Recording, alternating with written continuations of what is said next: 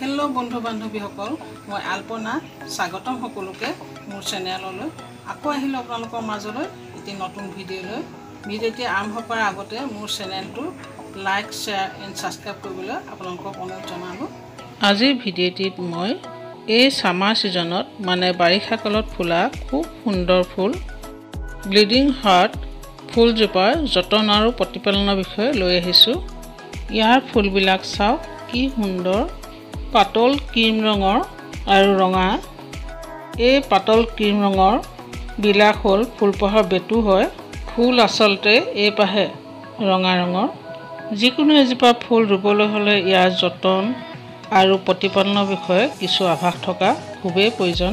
তেতিয়াহে ফুলজোপা খুব সুন্দৰকৈ গ্ৰ' কৰিব আৰু মনে বিচৰা ধৰণে ফুল ফুলিব। সেয়ে ব্লিডিং হাৰ্ট ফুলজোপাক ৰুবলৈ হ'লে পটুৰ মাটি কেনেকুৱাকৈ প্ৰস্তুত কৰিব তাৰ বিষয়ে প্ৰথমতে জানি লওঁ আহক। এইজোপাৰ পটুৰ মাটি প্ৰস্তুত কৰোঁতে আপোনালোকে টুৱেণ্টি ফাইভ পাৰ্চেণ্ট সাধাৰণ মাটি টুৱেণ্টি ফাইভ পাৰ্চেণ্ট বালি টুৱেণ্টি ফাইভ পাৰ্চেণ্ট সাৰ যিকোনো সাৰ ল'ব পাৰে আপোনালোকে কেঁচুসাৰ বা শুকান গোবৰ বা এই দুইবিধ সাৰে সম পৰিমাণে মিলাই লৈ সাৰ প্ৰস্তুত কৰি ল'ব পাৰে। তেতিয়া ফুলজোপা খুব সুন্দৰকৈ গ্ৰ' কৰে আৰু টুৱেণ্টি ফাইভ পাৰ্চেণ্ট কক'পিট ল'ব।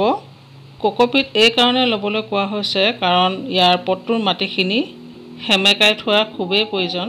কক'পিটে পানী অবজাৰ্ভ কৰি থয় সেয়ে পটুত ঘনে ঘনে পানী দিয়াৰ প্ৰয়োজন নহয়। এইদৰে আপোনালোকে পটুৰ মাটি প্ৰস্তুত কৰি ল'ব। এইদৰে মাটি প্ৰস্তুত কৰিলে পটুৰ মাটিখিনি ফচফচীয়া হৈ পৰে।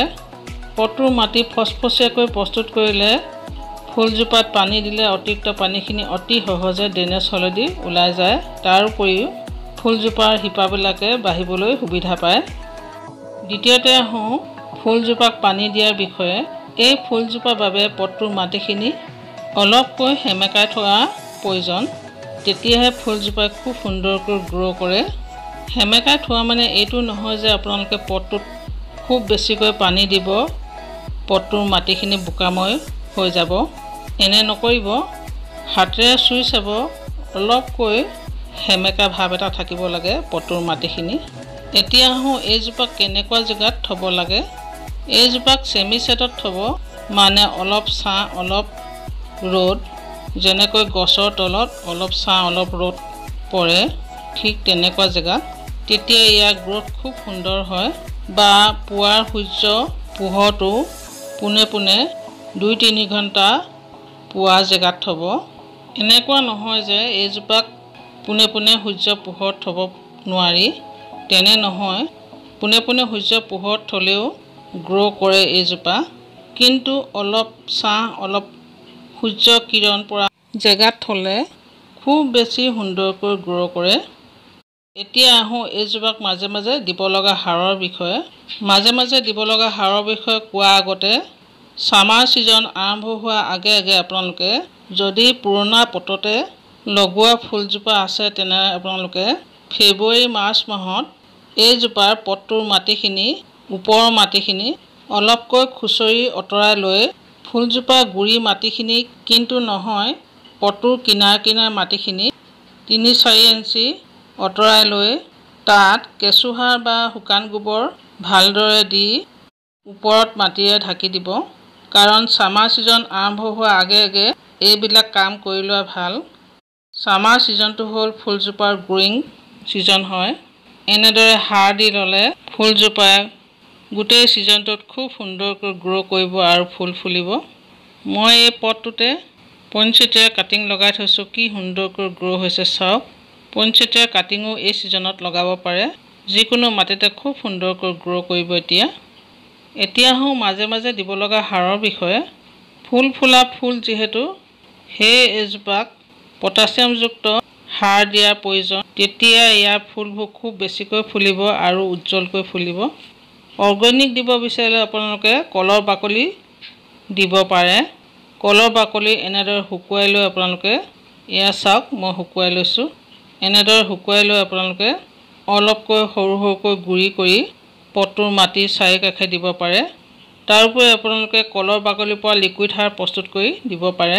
কলৰ বাকলিৰ পৰা কেনেকৈ লিকুইড সাৰ প্ৰস্তুত কৰিব পাৰি সেই বিষয়ে মই এটি ভিডিঅ' প্ৰস্তুত কৰি দিছোঁ আপোনালোকে নিশ্চয় চাব। যদি আপোনালোকে ফেব্ৰুৱাৰী মাহত পটটোৰ মাটিখিনি আঁতৰাই লৈ সাৰ দিয়া নাই তেনে আপোনালোকে প্ৰতি পোন্ধৰ দিনৰ মূৰে মূৰে ফুলজোপা গুৰিত এমুঠিকৈ কেঁচুসাৰ বা শুকান গোবৰ দিব পাৰে।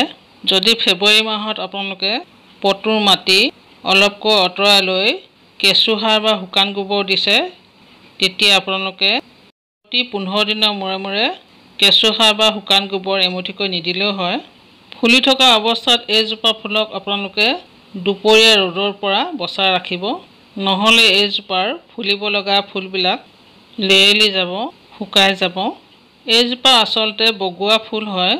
মই এইজোপাক বগাবলৈ দিয়া নাই কাৰণ মোৰ জেগাৰ অভাৱ হয়। বগাবলৈ নিদি আপোনালোকে এনেকৈও থ'ব পাৰে। বগাবলৈ লোৱা আগবিলাক কাটি থাকিব লাগে মাজে মাজে। কটাৰ কথা কোৱাৰ লগে লগে ইয়াৰ কাটিংবিলাকৰ পৰাই নতুনকৈ পুলি প্ৰস্তুত কৰিব পাৰি। এই বাৰিষা বতৰত ইয়াৰ কাটিঙৰ পৰা অতি সহজে পুলি প্ৰস্তুত কৰি ল'ব পাৰি। সেয়ে এই বাৰিষা বতৰত আপোনালোকে ক'ৰবাত যদি ইয়াৰ কাটিং পায় লৈ আহি লগাব পাৰে। এনেকুৱা কাটিং আনি লগালে ভাল। গ্ৰ' হোৱাৰ চান্স বেছি থাকে।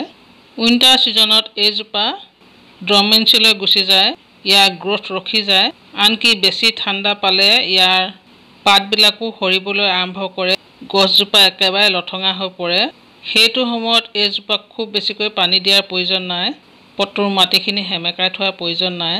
আনকি ইয়াৰ কিছুমান ডালো শুকাই যায়। এয়া কোনো বেমাৰ নহয়।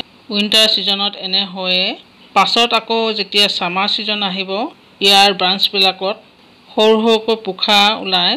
পাছলৈ লাহেকৈ গছজোপা জোপোহা হৈ পৰে আৰু ফুলিবলৈ আৰম্ভ কৰে। এইজোপাক মই বিশেষ বেমাৰ লগা দেখা নাই আজিলৈকে কিন্তু তথাপিও আপোনালোকে মাজে মাজে নিম অইল স্প্ৰে' কৰিব পাৰে। এইজোপা খুব হাৰ্ড প্লেণ্ট হয়। ইয়াৰ মৰাৰ একমাত্ৰ কাৰণ অভাৰ ৱাটাৰিং এইজোপাতে নহয় যিকোনো ফুলত আপোনালোকে অভাৰ ৱাটাৰিং কৰিলে মানে ফুলজোপাৰ শিপাবিলাক গেলিবলৈ আৰম্ভ কৰিব শিপাবিলাকত ফাংগাছে এটেক কৰিব। সেয়ে যিকোনো ফুলত পানী দিওঁতে আপোনালোকে গুৰুত্ব দিব। পানী কমকৈ দিলেও ফুলবিলাক নমৰে। অলপ শুকাই যাব পাছত পানী দিলে আকৌ সজীৱ হৈ উঠিব। কিন্তু অভাৰ ৱাটাৰিং কৰিলে বেছিকৈ পানী দিলে ফুলজোপা শিপা গেলি গ'লে সেইজোপাক বচোৱাৰ প্ৰায় অসম্ভৱ হৈ পৰে। অ'কে ফ্ৰেণ্ডছ আজিলৈ আহোঁ। ভিডিঅ'টি লাইক শ্বেয়াৰ এণ্ড ছাবস্ক্ৰাইব কৰে যেন বেল আইকনটো ক্লিক কৰিব তেতিয়া মোৰ নতুন ভিডিঅ' আহিলে আপোনালোকে ন'টিফিকেশ্যনত পাই থাকিব। ধন্যবাদ। ভিডিঅ'টো চোৱাৰ বাবে